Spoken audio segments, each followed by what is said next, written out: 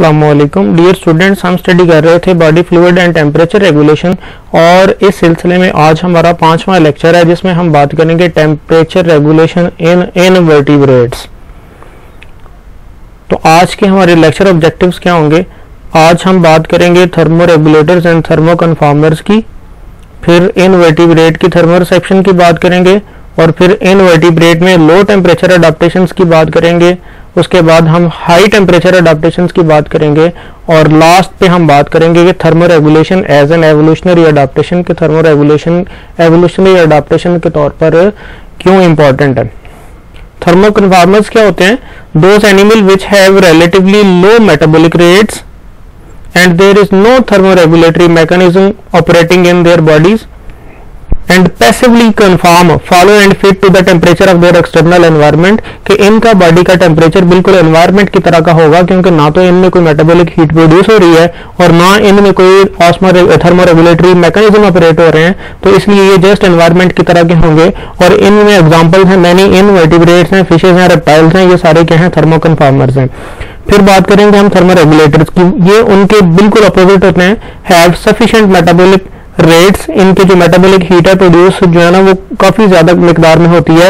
Have thermo regulatory mechanism और इसी heat की वजह से ये क्या करते हैं? थर्मोरेगुलेटरी मैकेनिज्म रखते हैं जो इसके बॉडी के टेम्परेचर को मेंटेन कर सकते हैं और actively adjust their body temperature relative to external environment की ये एक्टिवली एडजस्ट करते हैं क्योंकि इनमें सफिशियंट मेटाबॉलिक हीट है और उसके बाद क्या होता है? थर्मोरेगुलेटरी मैकेनिज्म भी है और ये इनको इस काबिल बनाते हैं कि अपनी बॉडी का टेम्परेचर जो है, वो एडजस्ट कर सकें और एनवायरमेंट के साथ वेरी नहीं करते। ये इनमें एग्ज़ाम्पल के तौर पर बात करें कि मैमल्स और जो बर्ड्स हैं, ये जनरली क्या है? थर्मो रेगुलेटर्स हैं। जब हम इनवर्टिब्रेट की थर्मो रिसेप्शन की बात करते हैं तो invertebrates generally lack any specific thermoreceptors इनमें कोई हायर वर्टिब्रेट की तरह का थर्मो रिसेप्टर नहीं होता और इनमें जो हायर इनवर्टिब्रेट्स हैं, जैसा कि इंसेक्ट में डायरेक्टली सेंसेस टेम्परेचर चेंजेस के ये डायरेक्टली बॉडी के क्रॉस अपनी क्यूटिकल के क्रॉस क्या करते हैं सेंस कर सकते हैं, कोई स्पेसिफिक रिसेप्टर्स इनमें नहीं होते। इनवर्टिब्रेट थर्मो रिसेप्शन में जब हम आगे एग्ज़ाम्पल की बात करते हैं तो ये thermoreception occurs in arthropods such as insects हैं क्रस्टेशियंस हैं हॉर्शू क्रैब्स हैं लिमुलस तो ये इसमें वो ऑर्गेनिज्म है जिनमें थर्मो रिसेप्शन होती है। और जब हम टिक्स की बात करते हैं ticks of warm blooded vertebrate can sense the warmth of the nearby meal and drop on the vertebrate host कि ये अगर देखते हैं तो ये वर्टिब्रेट होस्ट से ये गिर जाती हैं दूसरे वर्टिब्रेट होस्ट पर और ये कैसे सेंस करती हैं? ये उनकी बॉडी के टेम्परेचर को सेंस करके तो अपने होस्ट की जो नियर बाई एग्जिस्टेंस है, उसको ये समझ जाती हैं और वहाँ पर क्या करती हैं? गिरकर फिर नए होस्ट में ट्रांसमिट हो जाती हैं। तो ये इनमें थर्मो रिसेप्शन के मोड की वजह से ही पैरासाइटिक जो है वो स्प्रेड है। Mechanism of thermoregulation in arthropods में पहली बात करेंगे हम low temperature adaptation of invertebrates तो लो टेम्परेचर अडाप्टेशन में तीन स्ट्रेटेजीज इस्तेमाल करते हैं। पहले रिड्यूस वाटर के बॉडी के अंदर पानी को कम कर देते हैं। प्रोड्यूस एंटी फ्रीज एजेंट्स के अपनी बॉडी के अंदर एंटी फ्रीज एजेंट्स को क्या करते हैं? बहुत ज़्यादा कंसंट्रेशन कर लेते हैं। और तीसरा इसमें क्या होता है? शिवरिंग जिसके नतीजे में थोड़ी सी हीट पैदा होती है। अब लो टेम्परेचर अडाप्टेशन को डिटेल में पढ़ते हैं। इसमें पहली अडाप्टेशन क्या है कि temperate zone insect avoid freezing by reducing the water content in their tissues as winter approaches के जो ही विंटर अप्रोच करता है विंटर के करीब ये क्या करते हैं? ये अपनी बॉडी के फ्लूड्स के अंदर से वाटर की कंसेंट्रेशन को कम कर लेते हैं, उतना ही रखते हैं, जितना कि ऑप्टिमम वैल्यू इनके मेटाबॉलिज्म के लिए ज़रूरी है। एक्स्ट्रा वाटर को ये क्या करते हैं? ये रिड्यूस कर देते हैं, कम कर देते हैं, जिसके नतीजे में इनके बॉडी के फ्लूड या सेल के साइटोप्लाज्म फ्रीज नहीं करते। अब second other insect can produce glycerol और other glycoproteins that act as an antifreeze कि ये क्या करते हैं? अपनी बॉडी के अंदर, अपने सेल के साइटोप्लाज्म में या दूसरे जो मेम्ब्रेन्स हैं, उनके अंदर क्या करते हैं, ये ग्लिसरॉल और ग्लाइकोप्रोटीन की कंसेंट्रेशन को ज़्यादा कर देते हैं, जिसके नतीजे में क्या होता है, ये दोनों ही एंटीफ्रीज एजेंट्स हैं और जब एंटीफ्रीज एजेंट होंगे तो इनकी जो मेम्ब्रेन्स हैं, वो क्या करेंगे टाइटली लॉक्ड भी होंगी और मूवमेंट को वो इंटरफेयर नहीं करेंगी और जो सेल के इनसाइड और आउटसाइड मूवमेंट है, वो इस तरह असरअंदाज नहीं होगी। थर्ड है कि सम moths and bumblebees can warm up prior to flight by shivering contraction of their thoracic flight muscle के जो मॉथ्स हैं या बम्बल बीज हैं, ये क्या करती हैं कि ये वार्म अप हो जाती हैं, कैसे कि जब फ़्लाइट होनी होती है, उससे पहले ये क्या करते हैं, अपने मसल्स को, जो फ़्लाइट मसल्स हैं, उनको शिवरिंग करवाएँगे। शिवरिंग के नतीजे में क्या होगा? हीट पैदा होगी और वो हीट इनकी बॉडी को थोड़ा बहुत वार्म करेगी। अब मैकेनिज्म ऑफ़ थर्मल रेगुलेशन में जो अगला स्टेप है, वो है हाई टेम्परेचर अडाप्टेशन के ये जो इनवर्टिब्रेट्स हैं, इनमें हाई टेम्परेचर अडाप्टेशन क्या हैं? तो जनरली पाँच हैं जिसमें सबसे पहले हम बात करेंगे ब्लड सर्कुलेशन की, फिर स्वेटिंग की, फिर उसके बाद थ्री डी बॉडी पोजिशनिंग की, फिर वैक्स ब्लूम्स की, फिर कलर पैटर्न की। और थ्री डी बॉडी पोजिशनिंग को फिर आगे फिर हम तीन तरह से डिटेल में पढ़ें, जाके पोस्टरल एडजस्टमेंट की वजह से raise their body from the ground के बॉडी ग्राउंड से ऊपर करके भी ये क्या करते हैं हाई टेम्परेचर से बच सकते हैं। और orientation in sunlight and wind कि अपनी ओरिएंटेशन को हवा और सूरज के मुताबिक एडजस्ट करके भी ये क्या करते हैं, ज़्यादा वार्म होने से बचते हैं। हाई टेम्परेचर अडाप्टेशन की बात करते हैं कि role of blood in flying insect के ब्लड का क्या रोल है फ्लाइंग इंसेक्ट में? Blood circulating through the flight muscle carries heat from the thorax to abdomen कि यहाँ पर अगर हम ये डायग्राम देखते हैं डायग्रामेटिकली तो ये देखें कि थोरेक्स से जो ब्लड है वो एब्डोमिन की तरफ़ जा रहा है। थोरेक्स में क्यों के फ़्लाइट मसल्स होते हैं? फ़्लाइट मसल्स वर्क करते हैं, जिसके नतीजे में हीट पैदा होती है और थोरेक्स क्या होता है? वार्म अप होता है। तो जब थोरेक्स से हीट ब्लड लेता है और जाकर एब्डोमिन को दे देता है एब्डोमिन आगे क्या करता है? इसको डिसिपेट कर देता है, जिसके नतीजे में क्या होता है, फिर हीट लॉस कंटिन्यूसली होती रहती है कि जो थोरेक्स से ब्लड एब्डोमिन की तरफ़ आएगा एब्डोमिन से कूल होकर फिर किस तरफ़ चला जाएगा, फिर थोरेक्स की तरफ़ चला जाएगा और ये इस तरह सर्कुलेशन होती रहती है। और ये वो एग्ज़ाम्पल के तौर पर कहता है कि which gets rid of heat much as coolant circulating through an automobile engine passes through the radiator के जिस तरह रेडिएटर में, आगे हम उसको देखते हैं कि रेडिएटर में क्या होता है कि पानी या कोई कूलिंग एजेंट क्या करता है मूव करता है और इंजन से हीट लेके बाद में उसको फिर डिसिपेट कर देता है। इसी तरह जो है ना, वो इन आर्थ्रोपोड्स में या इंसेक्ट में होता है कि थोरेक्स से हीट अब्डामिन में जाती है अब्डामिन से फिर डिसिपेट कर दी जाती है। अब हम हाई टेम्परेचर अडाप्टेशन में सेकंड अडाप्टेशन की बात करते हैं। स्वेटिंग इंसेक्ट के कुछ इंसेक्ट क्या होते हैं, वो स्वेटिंग करते हैं, जिस तरह वर्टिब्रेट करते हैं तो certain cicadas for example Diceroprocta Apache that live in the Sonoran desert ये क्या करता है? Evolve cooling mechanism like vertebrate के वर्टिब्रेट की तरह के ये कूलिंग मैकेनिज्म जो है ना, ये अडॉप्ट करता है इवेपोरेट करता है वाटर जिसके नतीजे में इनकी बॉडी कूलिंग महसूस करती है। अच्छा ये जो साइकेडा ये क्या होते हैं? Cicadas are relatives of the leafhoppers aphids whiteflies scale insect which belong to order Homoptera ये इंसेक्टा के ऑर्डर हमॉप्टरा से बिलोंग करते हैं ये।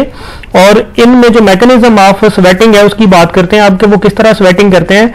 तो जब ओवर हीटिंग होती है ओवर हीटिंग के नतीजे में एक्सट्रैक्ट करते हैं वाटर फ्रॉम देयर ब्लड के ब्लड से ये वाटर इकट्ठा करते हैं और उसके बाद transport through large duct to the surface of their body के ये डक्ट के ज़रिए से सर्फेस ऑफ़ द बॉडी या क्यूटिकल के ऊपर ये भेज देते हैं। अब वहाँ पर लेयर सी बन जाती है where it passes through the sweat pores and evaporate के वो जो स्वेट पोर्स के ज़रिए से जब स्किन पे पहुँच जाते हैं तो वहाँ से एवेपोरेट होते हैं और वेपोरेट होकर फिर क्या करते हैं कूलिंग प्रोड्यूस करते हैं, जिसके नतीजे में इनकी बॉडी का टेम्परेचर लॉस होता है। तो इसको हम डायग्रामेटिकली देखते हैं कि ब्लड से वाटर एक्सट्रैक्ट किया डक्ट के ज़रिए से ये क्या करते हैं सरफेस पे पहुंचाते हैं, जहाँ पर जाकर ये इवेपोरेट होता है और इवेपोरेशन के बाद ये कूलिंग महसूस करते हैं। हाई टेम्परेचर अडाप्टेशन में अब बात करते हैं हम role of three dimensional body positioning का। तो जब हम देखते हैं तो relative to wind and sunlight insect अपनी body posture and orientation of wings को चेंज करते हैं और इसी बॉडी पोजीशन को और बॉडी पोस्चर को चेंज करके वो हीट गेन भी करते हैं और हीट लॉस भी करते हैं। तो इसमें हमने तीन बातें करनी है। थ्री वेज पढ़ने हमने। पहली बात करेंगे पोस्चरल एडजस्टमेंट की, फिर हम बात करेंगे raising bodies from the ground और फिर हम बात करेंगे orientation to sunlight as well as wind तो ये तीन टॉपिक हैं जो हमने आगे पढ़ने हैं जाके। तो सबसे पहले बात करते हैं हम पोस्टरल एडजस्टमेंट की।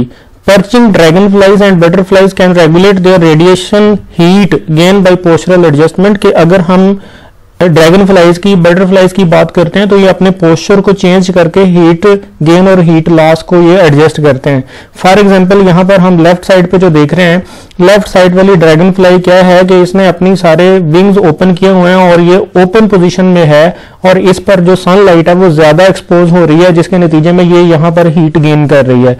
और दूसरी साइड पे अगर देखें तो जो ड्रैगन फ्लाई है वो क्या कर रही है, उसके जो विंग्स हैं वो क्लोज्ड हैं। और क्लोज्ड विंग्स होने की वजह से क्या होगा? उस पर सनलाइट कम पड़ेगी और वो मिनिमम हीट गेन करेंगे एनवायरमेंट से। तो पोस्चरल एडजस्टमेंट हीट गेन को इस तरह रेगुलेट करते हैं। इसी को अब हम यहाँ पर डिटेल में देखते हैं।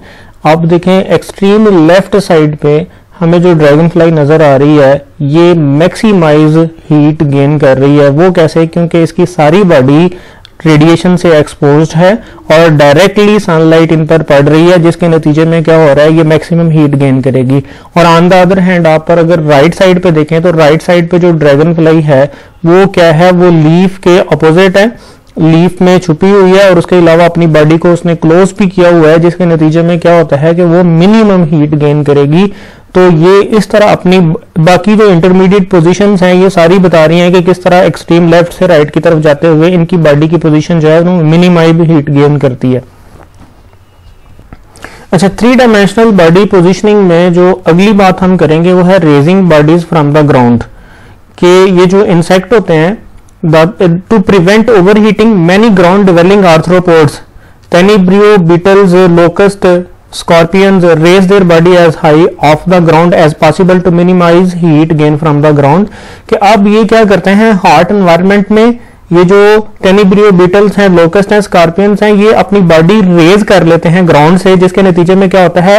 डायरेक्टली जो हीट हो रही है कंडक्शन होती है कंडक्शन को स्टॉप करता है। तो अब यहाँ पर अगर ये वाला इंसेक्ट देखें तो इसमें आपको नज़र आ रहे हैं कि इंसेक्ट ने अपनी बॉडी को ऊपर किया हुआ है। लेग्स पे उठाया हुआ है और बॉडी ग्राउंड को टच नहीं कर रही, जिसके नतीजे में मिनिमम कंडक्शन होती है और ये मिनिमम हीट गेन करते हैं। अच्छा ये भी एक इंसेक्ट है, आप यहाँ पर भी देखें, क्योंकि इसकी बॉडी क्योंकि सारी की सारी ग्राउंड से रेस्ड ऑफ़ है और इस नतीजे में मिनिमम कंडक्शन होगी और मिनिमम हीट गेन करेंगे। तो थ्री डायमेंशनल बॉडी पोजिशनिंग में अगली जो बात हम करेंगे वो है orientation to sunlight as well as wind तो इसको समझने के लिए हमें सबसे पहले थोड़ा सा आइडिया होना चाहिए कि हमने हीट गेन और हीट लॉस के जो मैकेनिज्म पढ़े थे, उनमें से एक रेडिएशन था जिसमें डायरेक्ट फॉर एग्जांपल सनलाइट जो है वो बॉडी पर पड़ती है और वो बॉडी हीट गेन करती है। और दूसरा हमने कन्वेक्शन पढ़ा था कि जो किसी मटेरियल के ज़रिए से फॉर एग्ज़ाम्पल किसी मीडियम के ज़रिए से एयर या वाटर बॉडी को टच करके तो हीट लॉस करती है, इस प्रोसेस का नाम कन्वेक्शन था। अब जो कैटरपिलर है some caterpillar and locust orient with reference to both the sun and wind to vary both radiation heat gain and convective heat loss ये जो कैटरपिलर्स हैं, इन्होंने करना क्या है कि इन्होंने अपनी बॉडी को इस तरह ओरिएंट करना है, अपनी बॉडी की पोजीशन इस तरह करनी है, अपनी पोस्चर इन्होंने ऐसे एडजस्ट करनी है, अगर इन्होंने हीट गेन करनी है तो ये क्या करेंगे? सनलाइट से डायरेक्टली एक्सपोज होंगे और मैक्सिमम सनलाइट इन पर फॉल करेगी और मैक्सिमम हीट गेन करेंगे।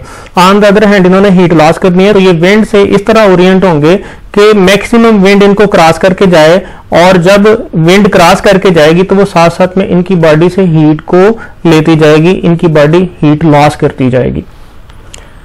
तो आगे बात करते हैं, चौथा जो पॉइंट था, वो था wax blooms Some desert dwelling beetles can exude waxes from thousands of the tiny pores on their cuticle के जो डेजर्ट्स में रहने वाली बीटल्स हैं ये क्या करते हैं इनकी स्किन में छोटे छोटे पोर्स होते हैं जिनसे ये वैक्स क्या करता है इनकी बॉडी से बाहर निकलता जाता है और वो वैक्स इनकी सरफेस के ऊपर क्यूटिकल के ऊपर क्या होता है एक लेयर बना देता है These wax blooms prevent dehydration and also are an extra barrier against the desert sun के ये जो uh, वैक्स ब्लूम्स हैं ये एक तो इसकी बॉडी के ऊपर जो लेयर है, ये क्या करती है? डिहाइड्रेशन से बचाती है और दूसरे नंबर पे ये इनको डायरेक्ट सनलाइट से भी बचाती है कि ये सनलाइट के अगेंस्ट भी एक बैरियर का काम करता है। तो इन इंसेक्ट को आगे हम जाके देखते हैं। 26 species of adult named tenebrionate beetles belonging to the tribe Adesmini and Zophisini have an extra cuticular wax bloom covering either part or all of their body surface के 26 स्पीशीज हैं इन वैक्स ब्लूम फ़ार्मिंग जो insect हैं जो क्या करते हैं अपनी बॉडी के ऊपर क्यूटिकल के ऊपर या different body parts for example leg या दूसरे पार्ट्स के ऊपर क्या करते हैं? वैक्स के ब्लूम बना लेते हैं, जो क्या करता है सनलाइट से भी इनको बचाता है और उसके अलावा क्या करता है? डिहाइड्रेशन भी नहीं होने देता। अब the percentage of the species possessing a wax bloom increases from the coastal fog desert to the inland hot dry desert के इनकी जो परसेंटेज है कोस्टल फॉग डेजर्ट की नस्बत इनलैंड हार्ड ड्राई डेजर्ट बहुत ज़्यादा हॉट एरिया जहाँ पर दूसरे इंसेक्ट के लिए भी प्रॉब्लम होती है, लेकिन ये क्या करते हैं? अपने वैक्स ब्लूम की वजह से वहाँ पर सर्वाइव कर जाते हैं और ये हार्श एनवायरमेंट को भी फेस कर सकते हैं। तो वैक्स बलून क्या करता है? इन इंसेक्ट को उन एरियाज़ में भी सरवाइव के काबिल बनाता है, जहाँ पर नॉर्मली कोई दूसरे इंसेक्ट के लिए भी बड़ी प्रॉब्लम्स होती हैं, लेकिन ये अपनी वैक्स फॉर्मेशन की वजह से हार्ट एनवायरमेंट को भी फेस कर सकते हैं। पाँचवें नंबर पे हमने बात करनी है कलर चेंजेस की। तो colour has a significant effect on the thermoregulation since 50 percent of the radiant energy from the sun is in visible spectrum के अगर जो रेडियंट एनर्जी की बात करते हैं, जो सनलाइट से आ रही है तो उसमें 50 परसेंट जो है ना वो क्या है? विजिबल रीजन है। Violet indigo blue green yellow orange red region और बाकी जो है ultra violet infra red region वो दूसरी है। तो 50 परसेंट जो रेडियंट एनर्जी है, वो क्या होती है? विजिबल स्पेक्ट्रम में होती है और ये क्या करती है? ये एब्जॉर्ब हो जाए तो बॉडी की हीट जो है ना, वो बढ़ जाएगी और अगर यही क्या डिसी अगर ये एब्जॉर्ब ना हो तो बॉडी की हीट इतना ज़्यादा नहीं बढ़ेगी। यानी कलर चेंजेस जो है कलर पैटर्न जो है, ये भी बॉडी के टेम्परेचर को रेगुलेट में हेल्प करते हैं। डार्क कलर जो है, ये ज़्यादा हीट एब्जॉर्ब कर सकता है। अब black surface reflect less radiant energy than a white surface thus many black beetles may be more active earlier in the day because they absorb more radiation and heat faster के यहाँ पर अगर देखें तो ये जो ब्लैक कलर की जो बीटल्स हैं, या ब्लैक कलर के जो इंसेक्ट हैं, ये क्या करते हैं? ज़्यादा हीट एब्जॉर्ब कर सकते हैं और ये क्या होते हैं? ये दिन के अर्ली टाइम में ज़्यादा हीट एब्जॉर्ब करने की वजह से ज़्यादा एक्टिव होंगे on the other hand white जो कलर इंसेक्ट होते हैं या व्हाइट बीटल्स हैं। ऑन द अदर हैंड अगर लाइट कलर इंसेक्ट की बात करते हैं तो conversely white beetles are more active in the hotter part of the day because they absorb less heat अब hotter part of the day में black जो है वो सक्सेसफुल नहीं है, क्योंकि वो बहुत ज़्यादा हीट ऑब्जॉर्व होंगे और उनकी बॉडी का टेम्परेचर जो है वो ऑप्टिमम से भी ज़्यादा बढ़ जाएगा, जो मेटाबोलिकली डिस्टर्ब डिस्टर्बिंग होगा। ये क्या होंगे? हार्ट टाइम पे या during hot part of the day ये क्या करते हैं? हाइडोट प्लेसेस में चले जाएँगे और जाकर छुप जाएँगे। लेकिन लाइट कलर इंसेक्ट एक्टिव होंगे, क्योंकि ये लेस रेडियंट हीट ऑब्जॉर्व कर सकते हैं तो इसलिए ये क्या करते हैं? उस हॉट वेदर में भी ये सर्वाइव कर सकते हैं और उसमें भी ये क्या करते हैं, अपनी फ़ूड तलाश कर सकते हैं या दूसरे जो फिनमिना है वो कर सकते हैं। Thermoregulation as an evolutionary adaptation तो इसमें चंद बातें छोटी छोटी सी बातें छोटे छोटे से कंसेप्ट हैं। The previous example of invertebrate temperature regulation gave clues to how temperature how thermal regulation may have evolve in vertebrates के ये जो हमें, हमने पीछे पढ़ा डिफरेंट स्ट्रेटेजीज पढ़ी हैं लो टेम्परेचर की भी और हाई टेम्परेचर की भी, ये हमें गाइड करती हैं कि इसी तरह वर्टिब्रेट में भी क्या हुआ है? अडाप्टेशन हुई है वर्टिब्रेट ने भी अडाप्ट किया और अपनी बॉडी को टेम्परेचर रेगुलेशन को मेंटेन करने के लिए उन्होंने अपने जो है ना, वो सारी स्ट्रक्चर्स और उसके अलावा फिजियोलॉजिकल जो फिनोमेना है, वो हासिल कर लिए। दूसरे नंबर पे बात करते हैं कि the endothermic temperature regulation of the active insect apparently evolve because locomotion produced sufficient metabolic heat that thermoregulatory strategies could evolve अब दूसरे नंबर पे बात करेंगे कि ये लोकोमोटरी इंसेक्ट हैं। इनमें क्या होता है? बार बार मसल की कंट्रेक्शन के नतीजे में हीट प्रोडक्शन होती है। इनका मेटाबॉलिज्म हाई होता है। जब मेटाबॉलिक हीट ज़्यादा प्रोड्यूस होती है तो इसके लिए क्या होता है? अब ये जो है थर्मोरेगुलेटरी स्ट्रेटेजीज अवॉल्व कर सकते हैं, आगे अपनी बॉडी के टेम्परेचर को मेंटेन कर सकते हैं कि अगर फॉर एग्जांपल मेटाबॉलिक हीट ही प्रोड्यूस नहीं हो रही तो फिर आगे थर्मोरेगुलेशन कैसे मेंटेन होनी है? तो ये जो इनकी लोकोमोटरी प्रॉपर्टीज़ हैं और मसल की कंट्रैक्शन है और एंडोथर्मिक एक्टिविटीज़ हैं, जिसके नतीजे में क्या होता है कि ये अपनी जो है ना बॉडी की हीट को प्रोड्यूस कर सकते हैं तो ये फिर अपनी बॉडी को हीट को रेगुलेट भी करते हैं।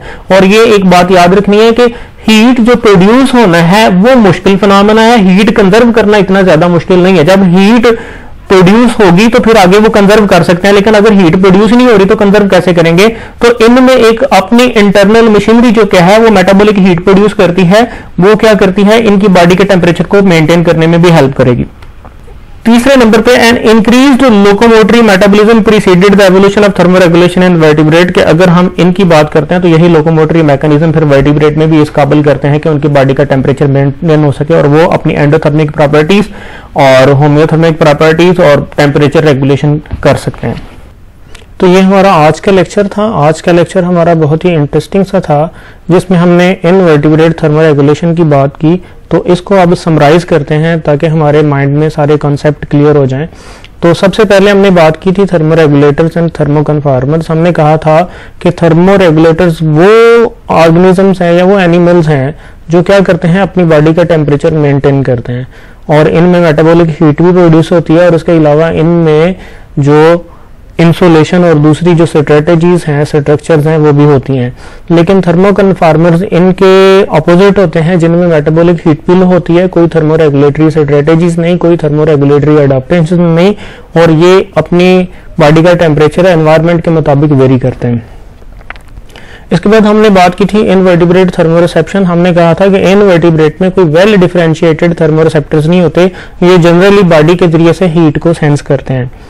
फिर उसके बाद हमने बात की थी low temperature adaptation low temperature adaptation में हमने तीन बातें की थी. पहले हमने कहा था कि ये अपनी बॉडी का वाटर रिड्यूस कर देते हैं, जिसके नतीजे में फ्रीजिंग कम होती है. दूसरे नंबर पे हमने कहा था कि प्रोड्यूस एंटी फ्रीज एजेंट कि एंटी फ्रीज एजेंट प्रोड्यूस कर लेते हैं, जिसके नतीजे में जो है ना क्या होता है कि इनकी बॉडी की जो मेम्ब्रेन्स हैं, उनकी फ्लूडिटी आल्टर नहीं होती. तीसरे नंबर पे हमने बात की थी शिवरिंग की, कि ये क्या करते हैं, ये मसल्स की कंट्रैक्शन के ज़रिए से हीट भी प्रोड्यूस करते हैं, जिससे बॉडी थोड़ा बहुत क्या करता है वार्म अप हो जाता है। हाई टेम्परेचर अडाप्टेशन की बात करते हैं तो हमने हाई टेम्परेचर में सबसे पहले बात की थी ब्लड सर्कुलेशन की। तो ब्लड सर्कुलेशन इस तरह रेगुलेट होती है कि ब्लड थॉरेक्स से एबडामिन की तरफ़ जाता है थॉरेक्स से एबडामिन की तरफ़ जाते हुए थॉरेक्स में क्योंकि मसल कंट्रैक्ट कर रहे हैं फ़्लाइट मसल्स हैं लोकोमोटरी मसल्स हैं लेग्स अटैच होते हैं और उनके काम की वजह से क्या होता है? हीट प्रोड्यूस हो रही है। अब ब्लड क्या करेगा? थोरेक्स से एबडामिन की तरफ़ जाएगा और एबडामिन में जाकर अपनी हीट लॉस करेगा और वापस फिर थोरेक्स में आएगा। इस तरह थोरेक्स तो एबडामिन सर्कुलेशन होती रहती है और हीट लॉस होती रहती है। दूसरे नंबर पे हमने बात की थी स्वेटिंग के कुछ इन्फेक्ट की बॉडी के ऊपर छोटे छोटे पोर्स होते हैं टिश्यू से वाटर निकलता है डक्ट के ज़रिए से स्किन पर जाता है, वहाँ पर ऊपर वाली सर्फेस से क्या होता है? क्यूटिकल से वाटर एवेपोरेट होता है, जिसके नतीजे में कूलिंग प्रोड्यूस होती है और ये कूलिंग महसूस करते हैं।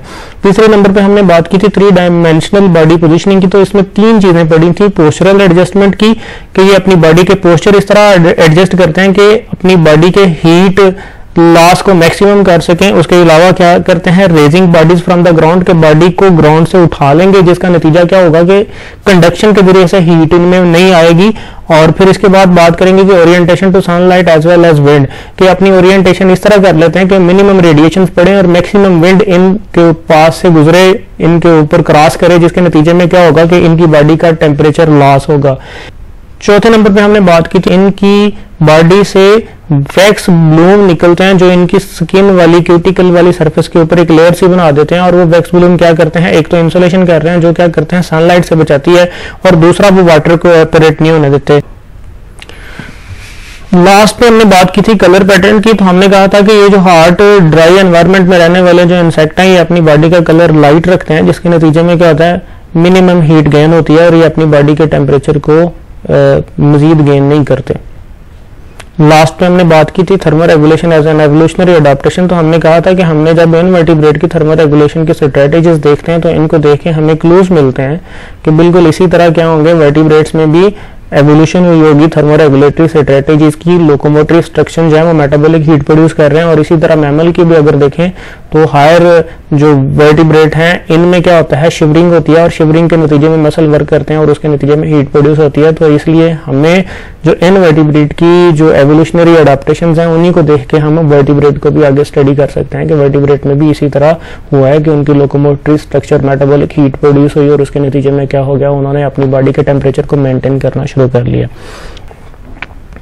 तो ये हमारा आज का लेक्चर था। बहुत आसान सा था कंसेप्चुअल था। इसमें आप एक बार इसको देख लें अच्छी तरह से, फिर इसके बाद फिर आगे हम दूसरे जो वर्टिब्रेट्स हैं, उनमें थर्मोरेगुलेशन की बात करेंगे। तो अल्लाह हाफिज़।